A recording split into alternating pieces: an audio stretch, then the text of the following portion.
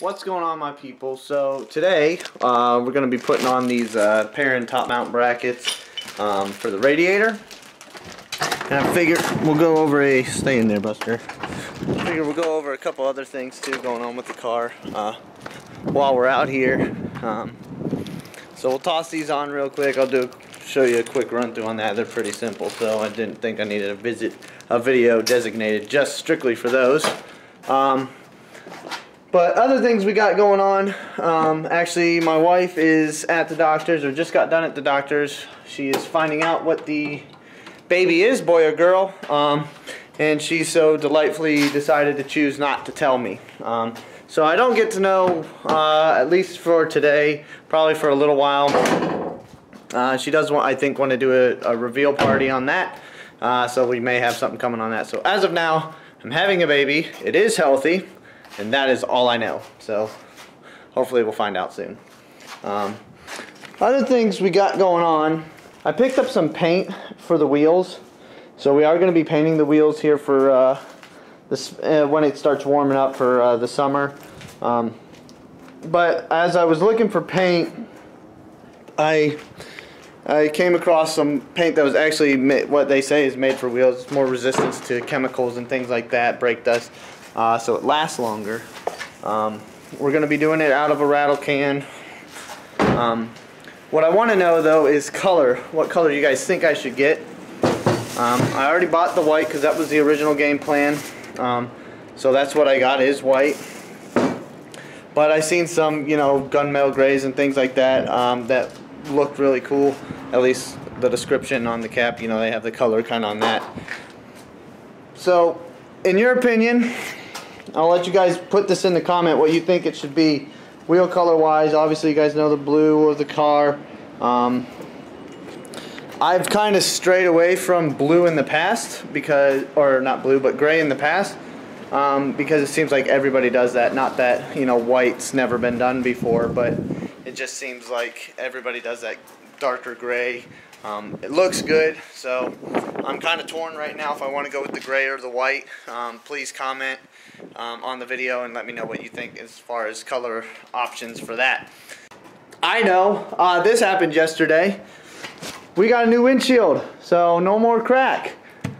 Yay! So I don't have that annoying crack going right down my line of sight. Next, let's get you set up here on the tripod and uh, we'll start putting those brackets on. Real quick just on these brackets, when you do get them from Perrin, um, you're going to get the actual brackets themselves. There are two different ones. One goes from the right side, one's the left side.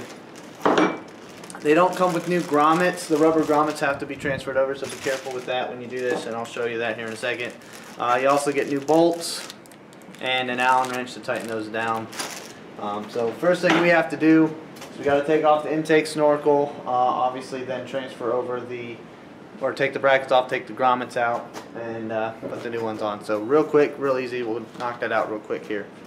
So first thing we got to do is take uh, these two 10 millimeter bolts out. One here, one here.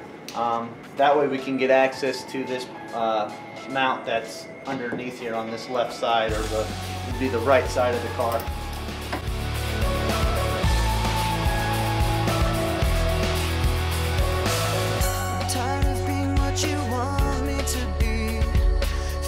So faithless, lost under the unbolt these, and then these two rubber grommets, these are what are going to transfer over.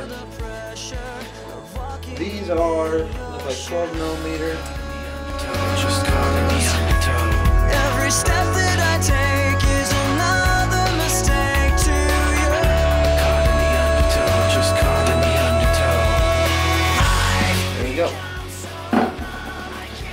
The other one you'll see that has a hood prop. Mine's obviously been broken, but I'm still going to transfer it over um, just so that at least doesn't fall too far forward, but um, now would be a really good time to just replace this piece.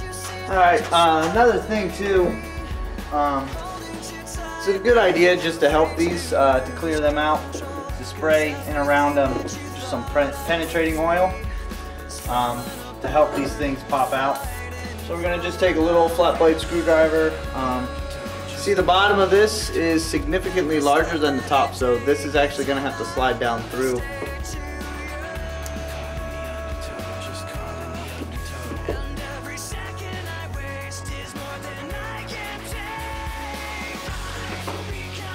Let's get that edge started. And there he goes. Pretty easy. Spraying that down will definitely help that, so make sure you do that. And those are junk. Oh, no, we still need that. And just with some uh, needle nose pliers, we're going to pop this guy back through.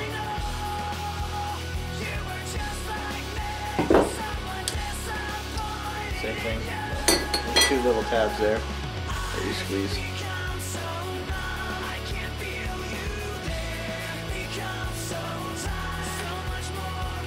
Pop the new ones in. That only goes one way. It's god awful.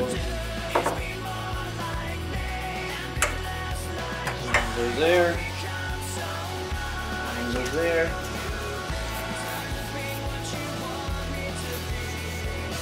Just gonna put some penetrating oil down in there and help these things thread in. Yeah. A little rusty.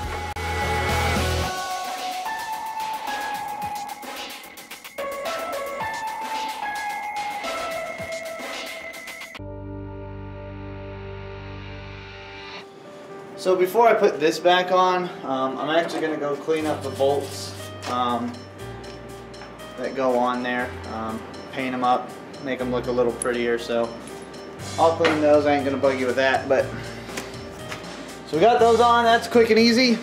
So yeah, we got a couple things going on with it. Um, I got those uh, Kartboy front and rear shifter bushings too. Uh, so we're going to be putting those on here fairly soon. Um, I did order, there's a TIC linkage, um, which I'll show you guys when I get it, what that is. That's all going to be put on in the same video um, all at once because you got to do it all pretty much at the same time anyways. My wife just found out what the baby is. She's not telling me. Uh, when I asked her, she said, I said, well, what is it? She goes, it's healthy.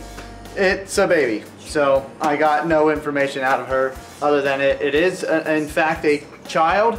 Um, and that it is a healthy child. So um, hopefully here soon we'll, we'll, find out what that is so we know if we're having a boy or a girl.